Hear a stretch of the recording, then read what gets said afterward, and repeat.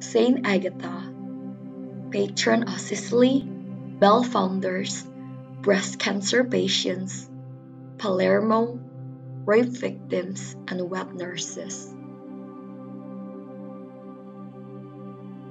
Saint Agatha, also known as Agatha of Sicily, was born around 231 in either Catania or Palermo, Sicily, to a wealthy and noble family. From her very early years, the notably beautiful Agatha dedicated her life to God and became a consecrated virgin. She chose to remain celibate and gave herself wholly to Jesus and the Church in a life of prayer and service. But that did not stop men from desiring her and making unwanted advances toward her. A local Roman prefect, Quintianus, thought he could force her to turn away from her vow and force her to marry because he was of a high diplomatic ranking. His persistent proposals were consistently spurred by Agatha. So, Quintianus, knowing she was a Christian during the persecution of Decius, had her arrested and brought before the judge. Intentionally, he was the judge. He expected her to give in to his demands when she was faced with torture and possible death, but she simply reaffirmed her belief in God by praying, Jesus Christ, Lord of all, you see my heart, you know my desires, possess all that I am. I am your sheep.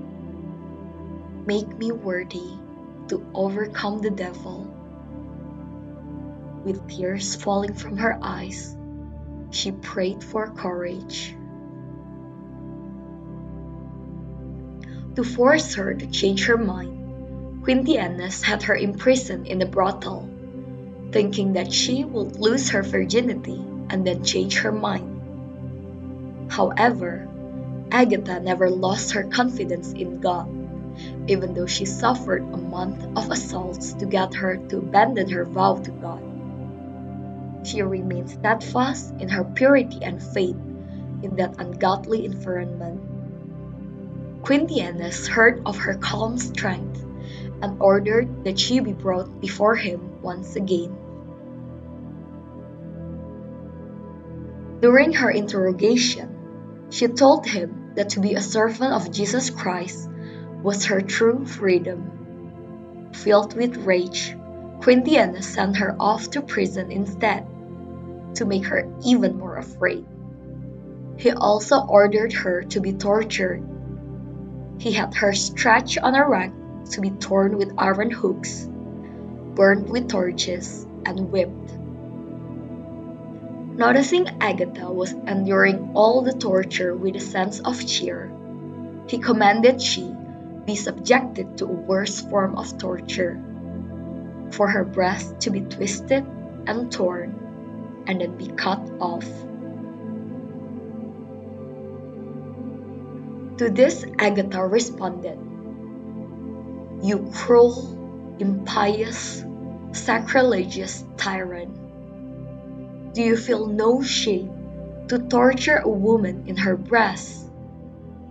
You, who from a mother's breast drew your first nourishment.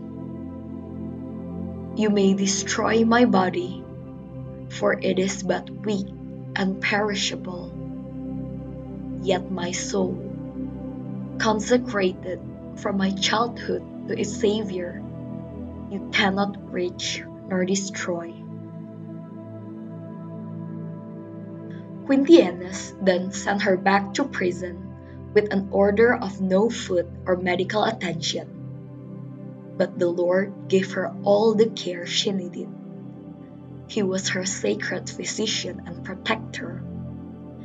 Agatha had a vision of the apostle, Saint Peter, who comforted her and healed her wounds through his prayers. After four days, Quintianus ignored the miraculous cure of her wounds. He had her stripped naked and rolled over naked over hot coals, which were mixed with sharp shards. The wrath of God, however, flared up, and there was an earthquake that killed Quintianus' companions. When she was returned to prison, Agatha prayed, Lord, my Creator, you have ever protected me from the cradle. You have taken me from the love of the world and given me patience to suffer. Receive now my soul. Saint Agatha surrendered her spirit to the Lord and died in prison, probably in the year 251. Saint Agatha is commonly featured in religious art with cheers, tongues, or breast on a plate. Other than being the patron of breast cancer patients, she is also considered to be a powerful intercessor when people suffer from fires and earthquakes. She is one of the several virgin martyrs who are commemorated by name in the canon of the Mass.